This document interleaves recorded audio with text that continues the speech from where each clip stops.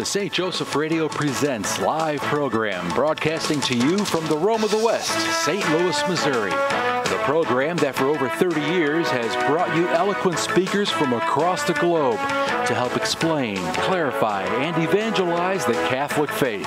Our program covers a variety of topics relating to current issues and occurrences in our daily lives. Now, with the aid of technology, we are able to bring the gospel message to the four corners of the world, where Christ Himself did say, Those who have ears ought to hear. It is our hope at St. Joseph Radio that through these programs we can help evangelize the world and change one soul at a time. Now, here is your host to introduce today's guest and topic. Welcome, my friends.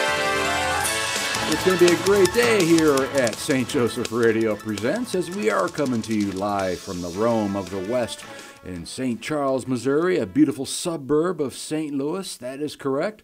My name's Matt Laugeman, and also aiding me in bringing this to you is Peter Karutz. Good morning, afternoon, sir. Good afternoon, good morning. I think we're right on the edge over there. Hey, hey how do you feel about that? You introducing yourself? Is it a little bit kind of like looking in the mirror and the mirror's talking back at you and uh, a deja vu maybe it's all over again right yeah it's like only yesterday i recall yeah. recording that yeah and it is a great day and a great season we're in the middle of the christmas not christmas we're in the middle of the Advent season and we're contemplating Christmas and we'll be in the Christmas season.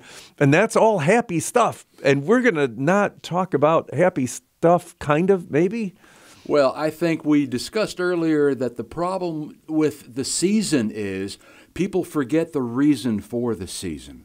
And they are going through life without fingernails right now, worried about every little thing, when all they should be worried about is their soul and how our coming Savior comes and finds their soul. Yeah, there you are.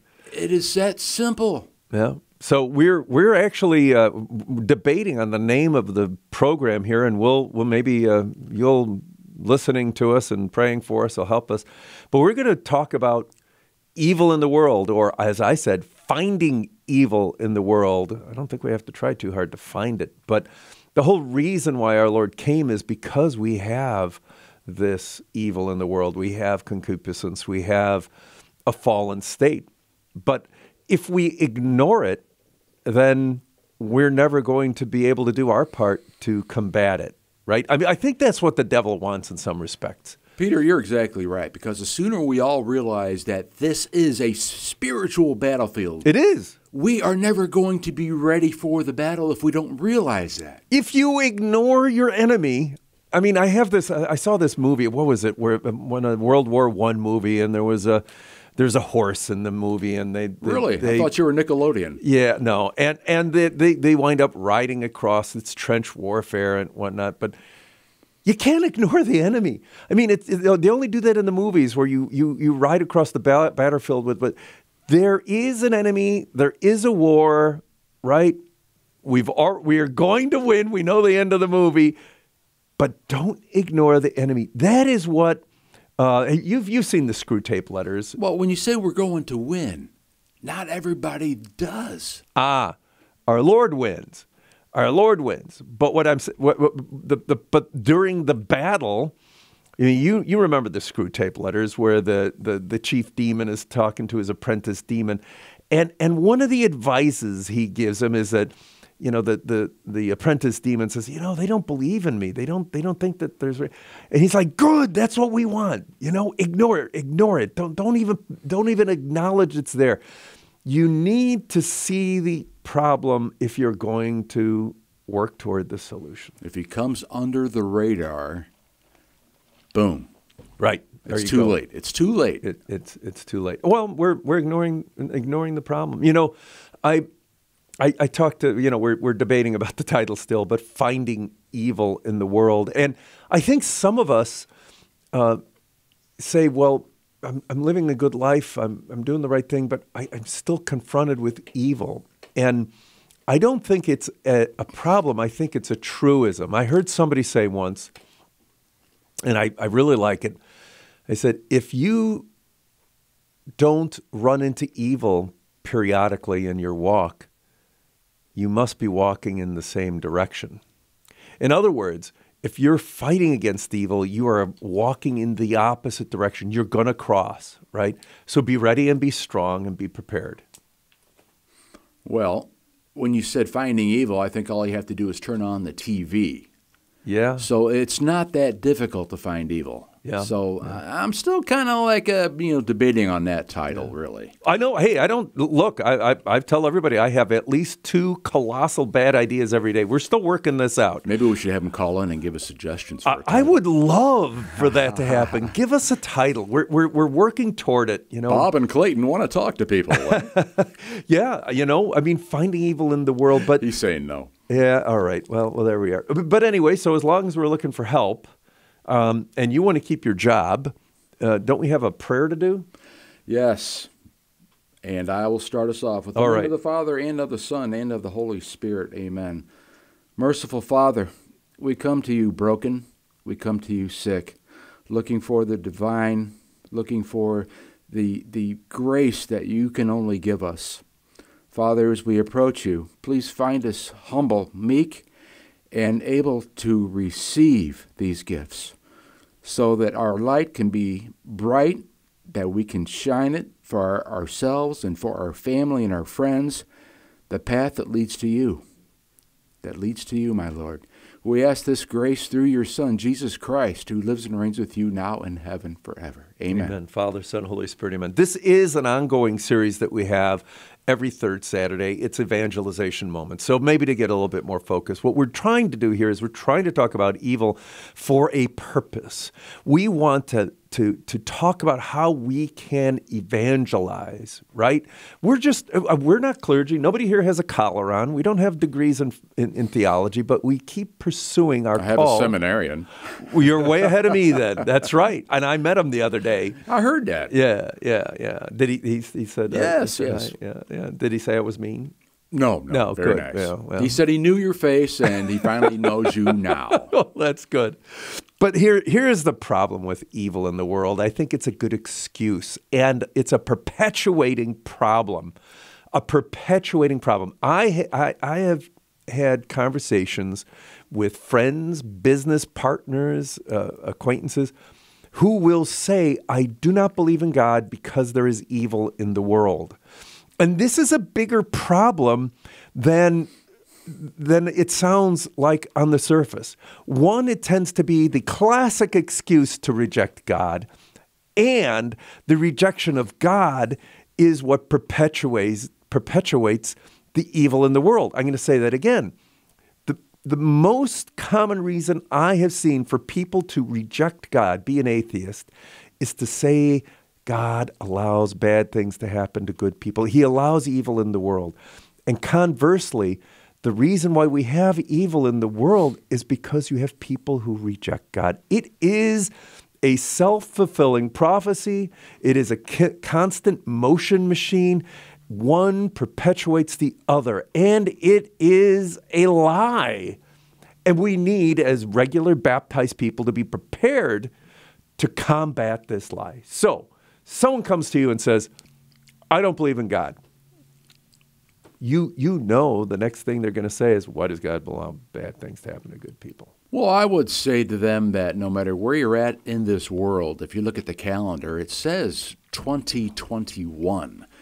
Something so profound happened on this planet that human existence continues their time continuum from the birth of one infant back in the time when they were writing on papyrus. Come know, on. yeah you know and, and i know we're going to take a digression here but one of the things i where that causes me to be a a pain an annoyance a, a, a- a thorn in the side if you will and a good one is when i hear this and, it, and this goes along with the same theory my truth right uh, somebody will talk about a particular year they'll say 300 BCE, or they'll say 1200 CE. And I'm like, what, what the heck are you? And I know well what they're talking about. What do you mean BCE or CE? They, they, they, they said, well, that's before the common era. Huh? Or after the common era. Why? Because their truth excludes what we're about to celebrate God entering the world as a human. They, they can say BCE, they can say CE, but the demarcation, irrespective of what they say, is in fact our Lord. AD, Anno Domini, in the year of our Lord. My, my, my graduation certificates, most people's professional certificates actually say not AD, they say in the year of our Lord. You can change it. You can pretend that this is my truth. CE, it's my truth. Go ahead. It doesn't change the objective reality. That's one of the themes we're going to talk about. Evil is the absence of the acknowledgement of objective reality. Objective reality. It's also the thing that causes us not to be able to communicate to people, right? All boils down to free will. Free will, absolutely right. And and and love, right? So let's talk about evil for a second, just in, in terms of its essence. Um, I, I, came to Father Augustine. He was in he was in on, on the radio last week actually, and I told him a particular problem I had, or a philosophical problem I had with a, a, a friend of mine, a business partner who was really coming into faith, and he was talking about evil in the world, right? And and um, and, and whatever route I was going down, I thought I was the smartest guy in the world, and I was trying to describe the issue and the problem and I said, How do we describe, how do we explain evil in the world? How do we make it make sense? I, am not going to give you the, the answer that he told me until I give you some examples, because what he said was perfect.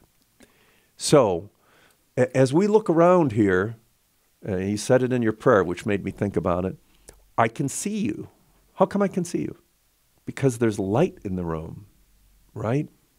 So in in the in the summertime here in St. Louis, we're we're broiling hot, right? And what do we want to do? We want to make it cool so that we can be more comfortable.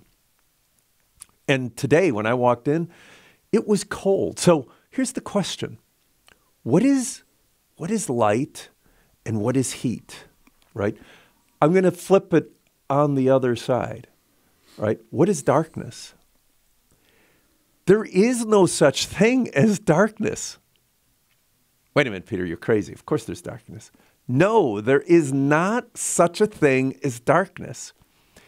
Also, there is no such thing as cold. Wait a minute, Peter, it was cold when we got in. Well, how, how can you say that?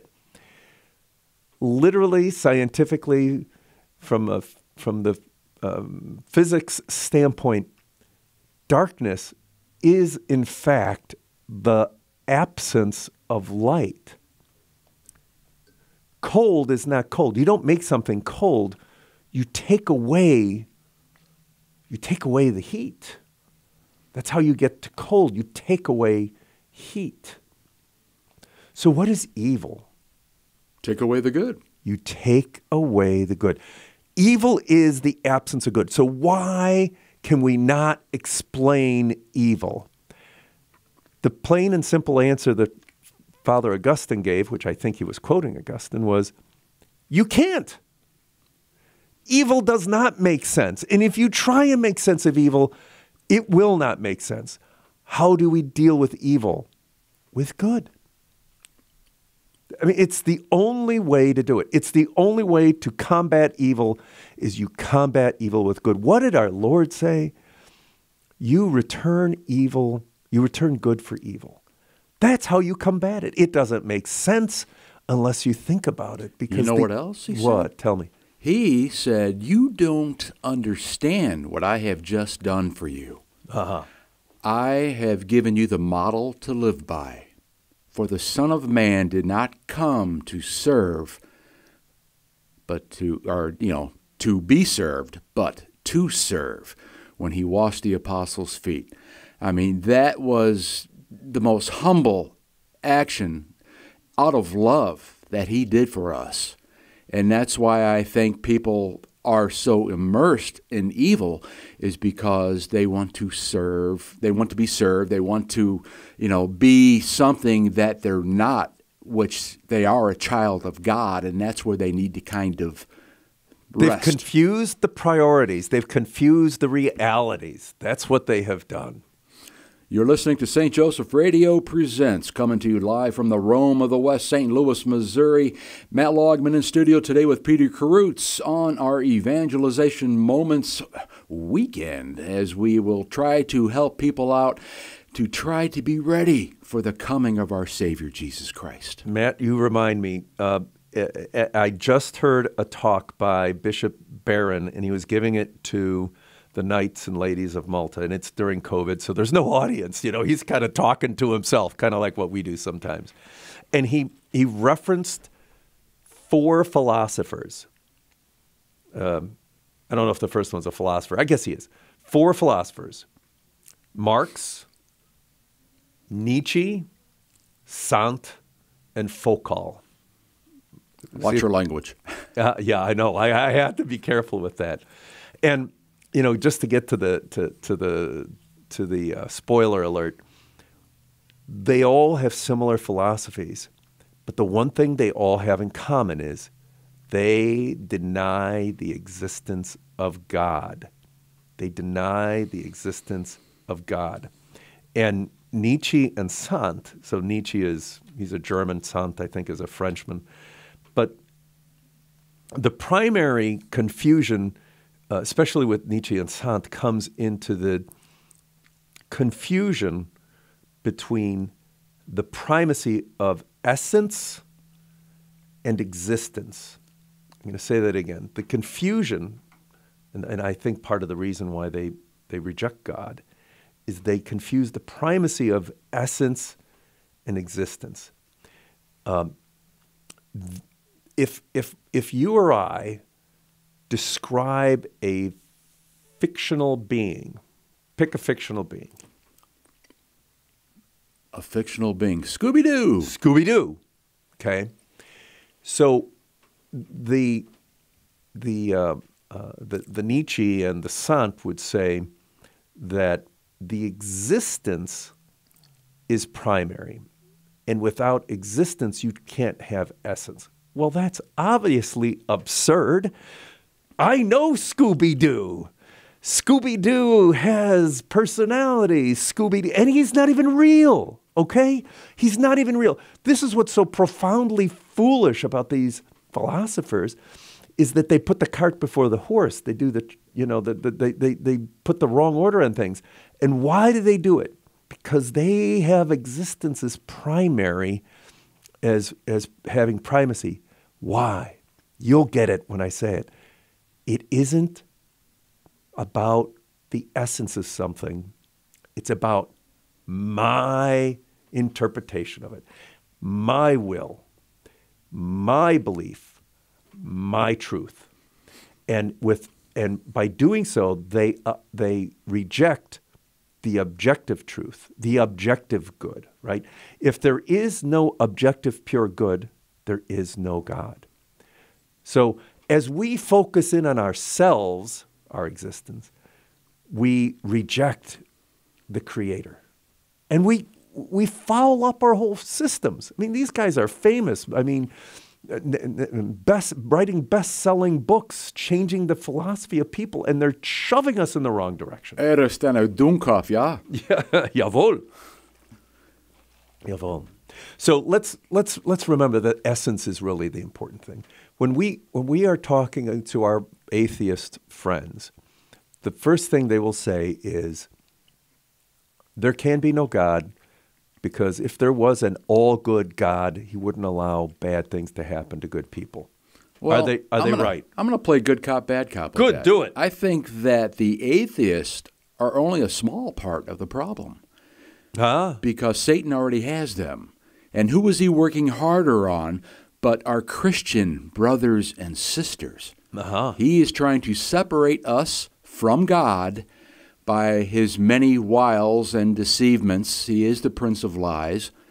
So, therefore, I believe a lot of the evil in the world comes from a Christian human being versus an atheist human being? Uh, I think I think you I, I think what I keyed on with what you just said is he's the prince of lies, right? So we and you talk about attacking Christians, right? I always say the Germans never bombed Japan, right? you know, the devil's not going to attack the people on his own side.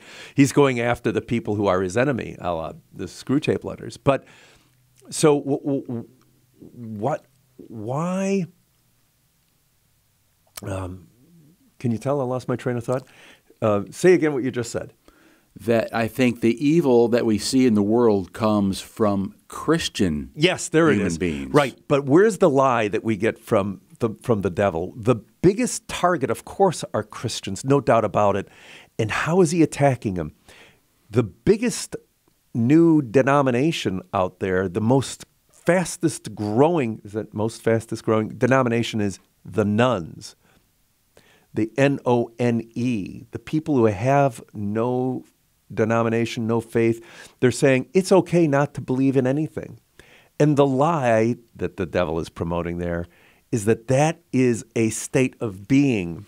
It is not. There is no such thing as a vacuum. The world abhors a vacuum. When you say you're a none, N O N E, no faith, no belief, you know, you're agnostic or a, a, not even to the atheist, you're agnostic you will be filled up with something. There is no such thing as a vacuum. You cannot be none. You will you are prime territory to be invaded by the evil one. And that's the lie. It's okay to be none or have no faith or don't believe. And what happens? He just makes you prime target for the evil that is to come. Not only that, it's nonstop as he prowls about the world like a lion seeking to consume all these souls it's nonstop. And people need to realize, like we said at the beginning of the program, that it is a spiritual battlefield. And thank God we do have the armor of Christ. Yeah. You know, part yep. of the reason why we're here to evangelize yep. is there is a solution. And and you know what? You know, I, I, remember my daughter when we had some people over at the house. They were in high school, and she was talking to this guy who was a he was Latin. He was a foreign exchange student, and she he admitted kind of like a fly on the wall. I was in the other room eh, that he doesn't believe in God. And I remember my daughter saying to him, Boy, that doesn't even make sense, right? It doesn't even make sense. And, and, and, and, and, he, and she said, even from a selfish standpoint, if you're, if you're right, who cares? But if you're wrong, you know, you got all eternity of hell to look forward to. Doesn't, it doesn't make sense. And, and what, what comes to mind is it doesn't make sense right? I mean, she was um, she was promoting um, uh, um, um, that argument, Pythagoras, not Pythagoras, but um, boy, I'm not doing well today. Anyway, so she was she was uh, objecting to what does not make sense. Why? Because it's simple. But not believing in God is a simple thing. So if we if it is a simple answer, let's go to a simple solution. Have you? Do you remember the? I think it was in the '80s, maybe the '70s. Uh, do you remember John Denver? Oh yeah, Rocky Mountain High. George Burns. Oh, cigar. And do you remember how they combined in the movie? I do not. Oh God, George Burns was God, and John John Denver was John Denver was confronted by God in his bathroom while he was shaving. He had half his half his face shaved, and and and there's this old man with a cigar claiming to be God in his bathroom, and he's he's as confused as can be, and and and he he's he, he he's never been confronted with the idea of is there a God, and he's saying I don't believe in God, and and and he says if there is a God, how how how how come you know you look at all the famine, all the suffering, all the good people who die, you look at all the people in the hospitals, how, how and and the wars, right, the senseless killing how can you be if this exists? How can you allow it? And I guess it's a little bit of a right turn, but George Burns looks at him calmly, takes a puff on the cigar, and says, I don't, you do. And, and from a simplistic standpoint, it is the first step in understanding free will, right? God has endowed us with free will. If we were robots, we we, we well we couldn't have the ability to love no one forces somebody to love somebody You can only do it with free will. And as a result, there's a lot of danger. There's a lot of possibility for bad things. A lot of possibility for bad things. So, where are we falling short as the Catholic community to express, just by the way we live, God's pure and holy love in all of us? And the joy that can only come from God and the understanding.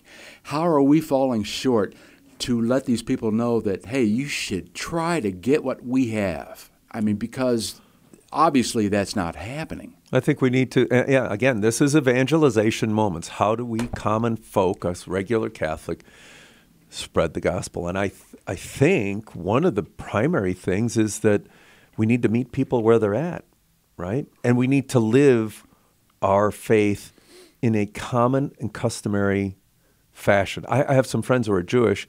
They wear their yarmulkes all the time. Would it? Would it?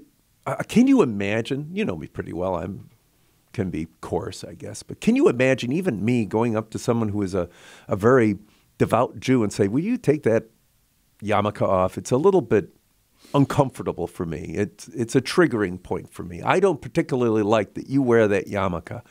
I wouldn't do it. Can you imagine anybody doing such a thing? Well, since my boss is a Jewish carpenter, I would never say that. but we as Catholics, we need to wear our yarmulkes, live our faith, say grace at the table, talk about faith in a common and customary and, and easy way. I'll pray for you. I need to, I need your prayers. I, you know, I, I went to adoration yesterday bring it into the common parlance, and then let people know how much you care about them. All right, for the folks who are watching us live on YouTube, we have for you a 10 by 18. That's right, 10 by 18 canvas of the Divine Mercy. Jesus, I trust in you. These are free. All you have to do is pick them up or pay for the postage. How was that for a last minute Christmas gift, huh, Peter? It's a good one. It's yeah. a good one. And it's beautiful. It is. We'll be right back, my friends. This is St. Joseph Radio Presents.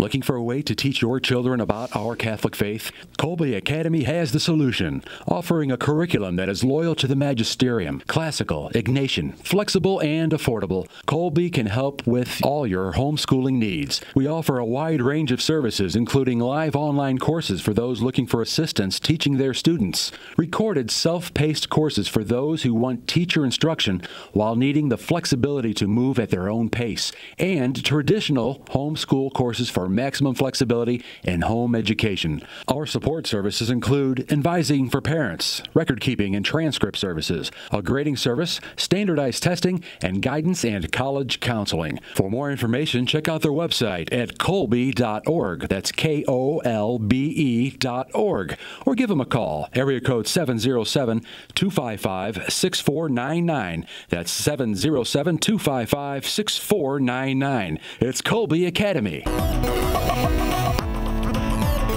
St. Joseph Catholic Radio is proud to announce the launch of SJEN TV, the St. Joseph Evangelization Network. SJEN TV is a premier online Catholic broadcasting network providing quality Catholic programming 24 hours a day, 7 days a week. We have programming such as live studio interviews, St. Joe's Java speaker presentations, current Catholic issues, and the Pro Life series. We're featuring the many talented speakers out of Orange County, California, and this Archdiocese of St. Louis, Missouri including Professor John Gresham, Father James Mason, Karen Nokemper, Rick Hollerick, Bill Federer, and many more. To review the program list, go to sjen.tv or on Roku, SJEN TV. All this programming is free, and we are welcoming sponsorship of new programs. Find out more at sjen.tv.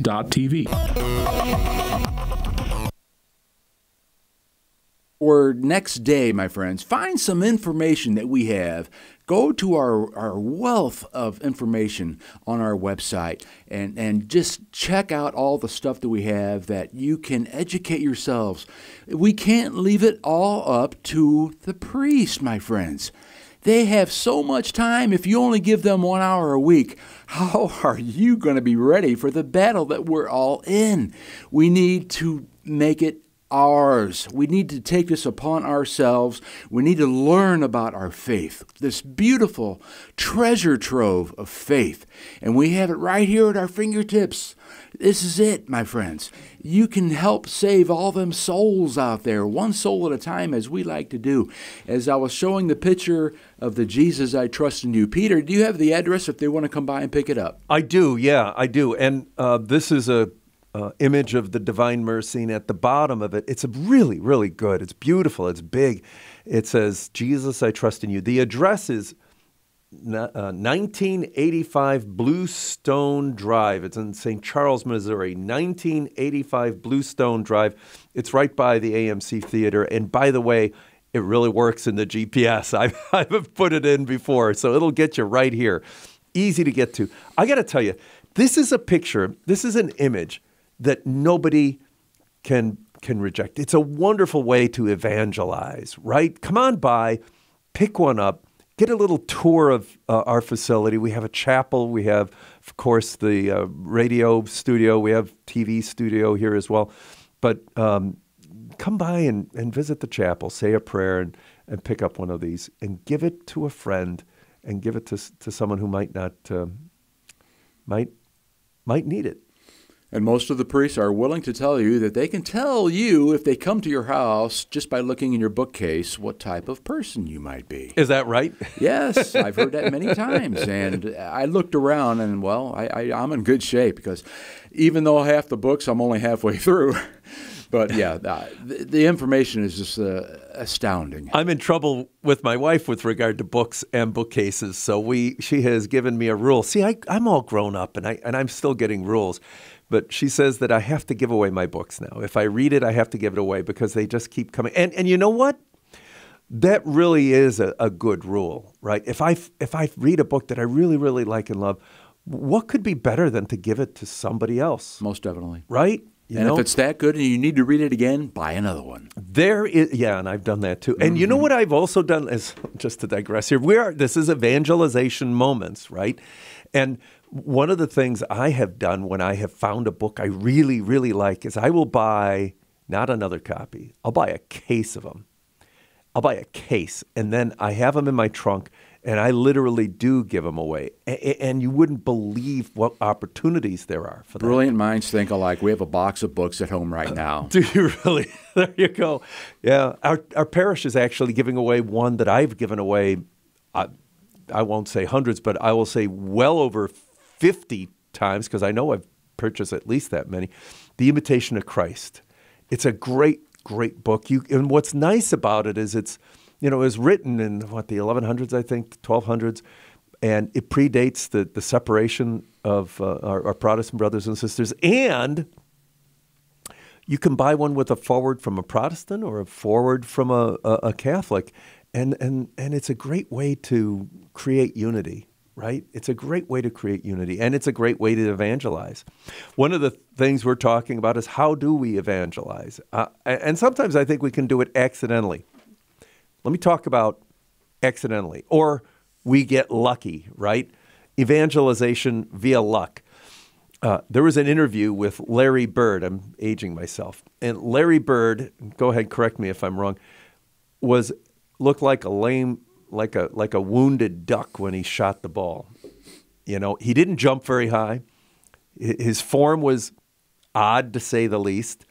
And he's being interviewed by some short guy, and he's he in the short guy interviewer is actually saying, "Man, you you you shoot poorly. You have terrible form. You don't jump." He says, "Man, you just look like you're getting lucky when the ball goes in." And and Larry says, "Yeah, I think you're right." He says, uh, I come to the stadium hours ahead of time. I shoot 100 free throws every time. I do 100 uh, jump shots every every day before the game. I, anyway, he goes on and on. He says, the more I practice, the luckier I get. And that's what we were talking about before. The luckier I get, the more I practice, right? So if we practice our faith, if faith becomes something casual and common, you will get lucky in your evangelization. Uh, I, I was on Facebook and I found something. I was actually on the internet, and I found something that I thought was really, really cool. Because when I talk about, you talk about saying the rosary. When I when I um, say the rosary, and I talk to my Protestant friends about it, I say, hey man, all we're doing is praying the Gospels. That's what the rosary is. We're praying the Gospels. So I found a post uh, or a sign, a picture. I took a picture of it. And what the picture was, it's, it says, the word rosary may not be in the Bible, but surely the Bible is in the rosary. And it goes through all of the four um, uh, uh, sets of mysteries, and all, each, uh, each has five, of course. And it gives a short Bible verse that, that shows the foundation for it. I thought it was cute. I thought it was cool. Uh, at last count, I have 65 conversations that have started. Learn it, love it, live it. and, and, and these are Catholics and Protestants and non believers. And it, it was just a, a throwaway. It was just, uh, hey, man, I think that's cool. And what is it? You have people talking about faith. That is what a miracle is, right? I have a great friend, Monsignor Gaelic, and and, and, and he, his definition of a miracle is where there is an outpouring of faith. Man, we can have accidental miracles. Put faith in your common parlance. Common parlance. I, have a good friend who's in the hospital right now, kind of suffering with surgeries and bad surgeries. And uh, so, John, we're, we're praying for you. And it was about, I don't know, one o'clock in the morning and uh, I said, because uh, uh, I, I, was also on the internet at the same time, I said, John, can I share a night prayer with you? And he said, Yeah, I'd love it. So we shared a night. I, I texted it to him. We shared a night prayer. It was the best part of our conversation. You know, sometimes that's all we can do to is is to is to say a prayer, and and and there we are coming to our theme again. That's one of the stumbling blocks for those who reject God. How can God allow such a good man to suffer so much? Right? We don't really we, understand. You know, the, the things that he might be relieving himself of, possibly uh, a lot of time in purgatory, you know, for his soul, the salvation of his soul. That's why I think a lot of people have to go through these trials. Right. And we need to remember that our relationship with with with God is not one as the Muslims have, master and slave. We have a familial relationship Abba, with us. Father. Yeah, daddy, right? And and when bad things happen, in, in terms of our perception of a bad thing, think of being a child and thinking of what the bad thing is. And as, as, as the parent, you're thinking, oh man, no, it's not bad. It's, it's, it's good. It's, you need it. it. Our Lord, I forget where it is in Scripture, says, you, sometimes our Lord prunes us. Sometimes we need this, right? Think of, I, I there was a, another talk that um, you all have got to look up one day. Uh, Dinesh D'Souza, who's a who's known as a kind of a political conservative. And what I've discovered is he's a very strong Christian. I don't know if he's Catholic, but I wouldn't doubt it. And he had a debate with um, with with an atheist uh, named Bart Ehrman, and and the foundation of the talk, the existence of God, was Bart Ehrman's inability to reconcile suffering in the world and the existence of God. And I mean, no way, no how. No way, no how.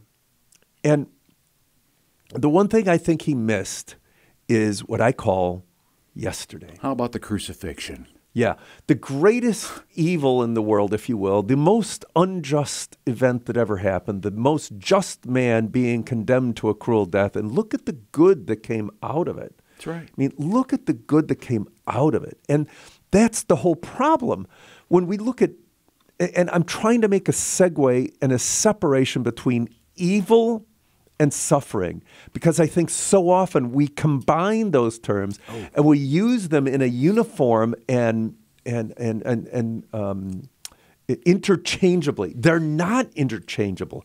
There is a huge difference between evil and suffering. Suffering. The best term I ever heard as far as people that had to suffer was from Bishop Hermann. Oh. He was talking about a visit to a rest home.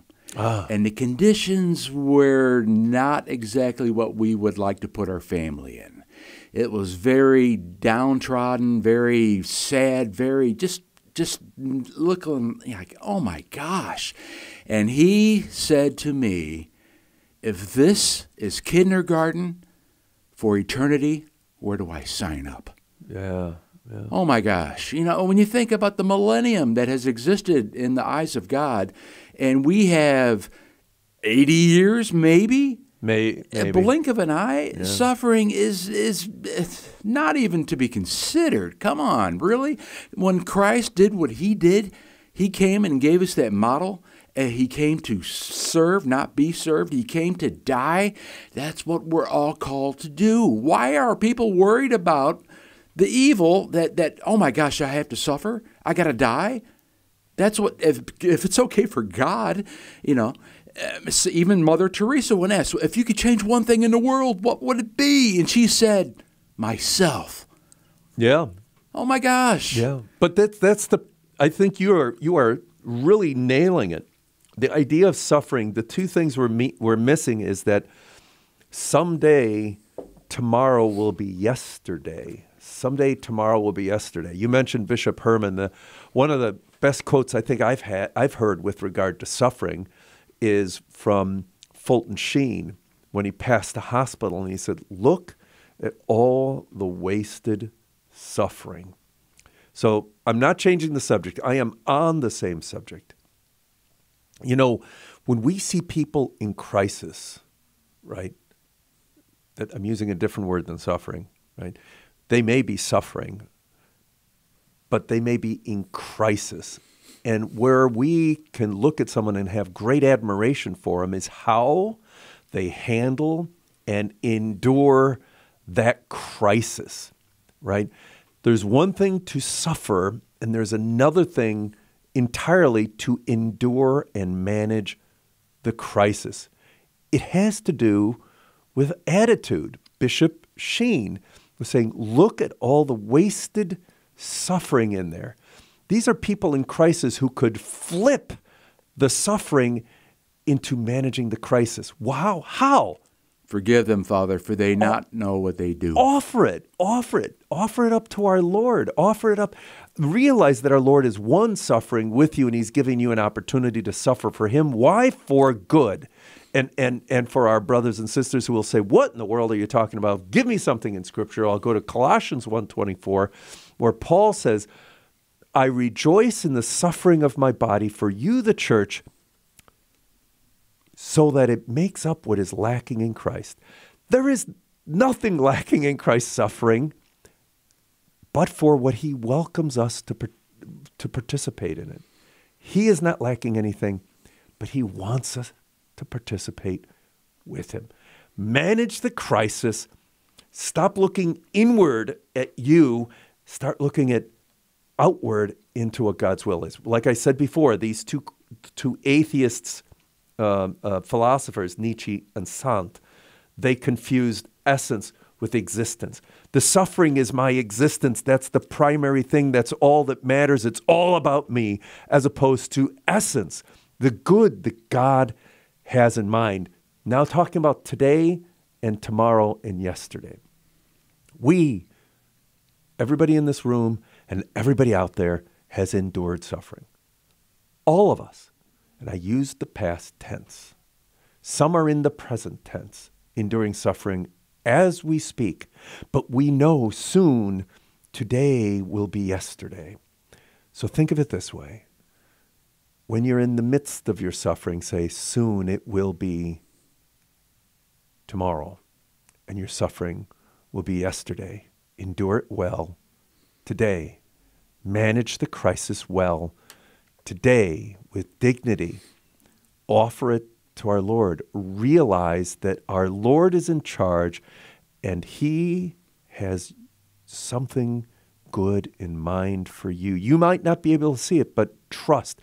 Hey, have you ever been on a plane? I have. I, have been on a plane when I was a flight attendant for five years. You've Peter. been in it. Well, then, then you'll you'll see this. I've been in a plane in crisis. Oh, I have too. I've prepared a cabin for an emergency landing twice. We we lost an engine once. We um, we were struck by lightning. The engine blew up. Lights blew out. The the plane listed to the left and started going down. You know what? I didn't run up to the cockpit and start advising the pilot as to what to do in this particular emergency Well, circumstance. not with your soiled shorts, you weren't. well, we'll talk about what I did. But the point is, I had confidence in this mere man to manage this crisis. How much more of confidence should we have in God who loves us infinitely, right? He, he would do anything for us and did. Trust in God. When we are in this crisis and we see what we think is evil and we realize it's not evil, but it's suffering, manage the crisis. Have confidence in God realize that He loves you. And you're listening to St. Joseph Radio Presents, coming to you live from the Rome of the West, St. Louis, Missouri. In studio today, Matt Laugeman and Peter Karutz. Now, Peter, as we have all these people that are going to be coming to our homes who are in the midst of suffering, who are in the midst of Satan's attacks, and you know what they're going to say? They're going to say how busy they are. And I'd like to share the quote from Monsignor Wojcicki of ICD. BUSY is the acronym which stands for Buried Under Satan's Yoke. You got to say that again. What, what was that? Buried under Satan's yoke. That's what busy means. He says, We're not busy, we have opportunities. Every day consists of I don't know how many seconds there are of opportunities. Now, we're going to have that opportunity this coming Christmas when family comes to visit. Family, friends who are not exceeding this joy that, that, that we are, are feeling in our souls that we want to share. How are we going to do that? We can't argue them in, we can't browbeat them into it. We need to love them into it.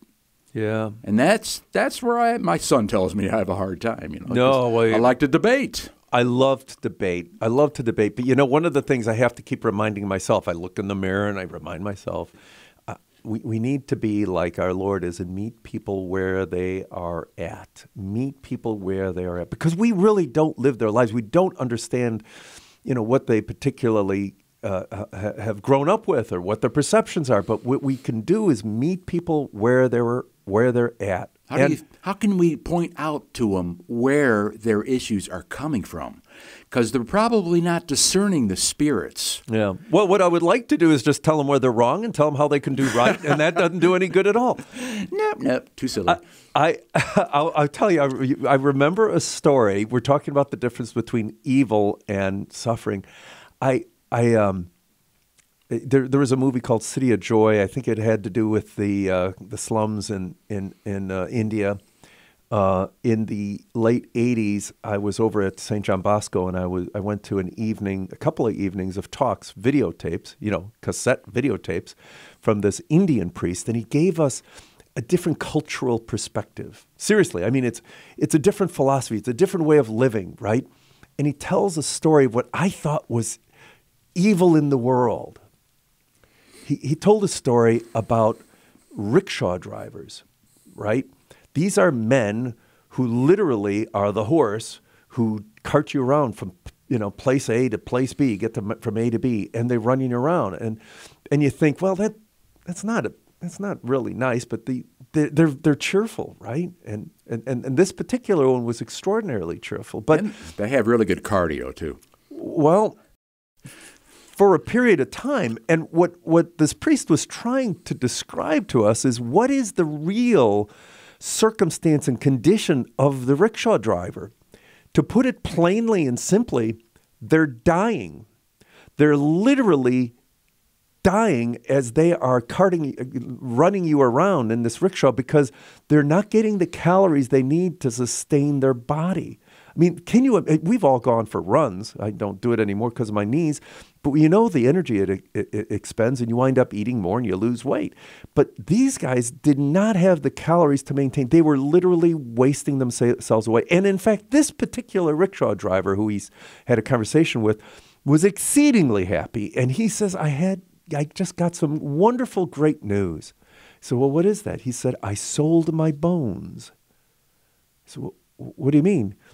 He said, I, I the, the, the medical industry over there would, would uh, contract for people to sell them their bodies once they die. And the medical industry over there would concentrate on rickshaw drivers because their days were very limited.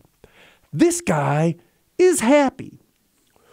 And, and finally, this priest says, Well, why, why are you so, so happy? He says, I have I make great money with this rickshaw. I just got the money from my bones. My family has a nice place to live. I have some future for them. He was completely selfless, right? He was not, he was not concentrating on the primacy of existence.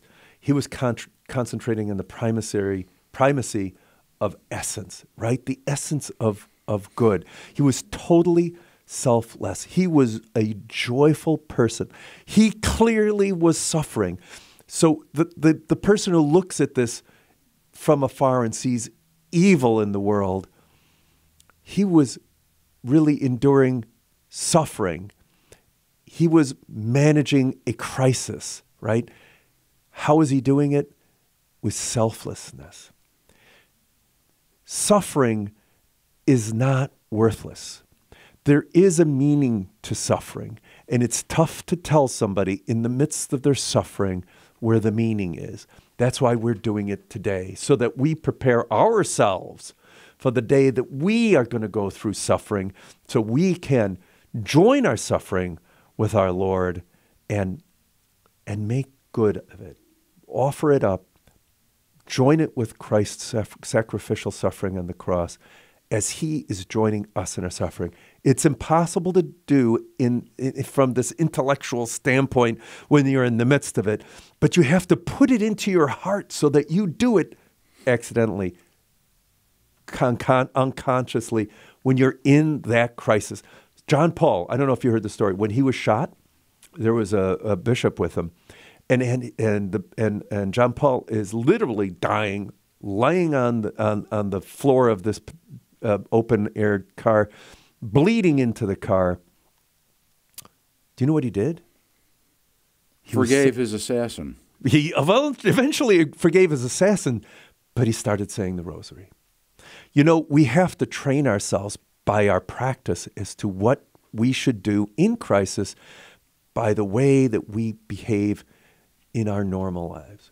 What do we do? We default to prayer. We default to crisis. This picture that we have here, this icon of the uh, of of the divine mercy, at the bottom of it says, "Jesus, I trust in you."